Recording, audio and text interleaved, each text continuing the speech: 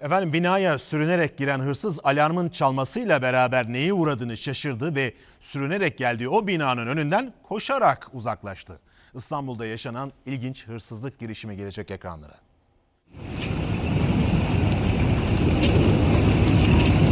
Sürünerek geldi, alarm çalınca koşarak kaçtı.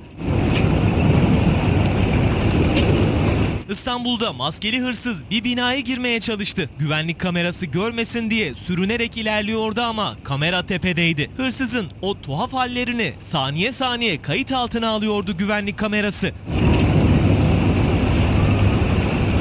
Ama binanın güvenlik önlemleri kamerayla sınırlı değildi. Alarm da vardı ve alarmın çalmaya başlamasıyla hırsız neye uğradığını şaşırdı.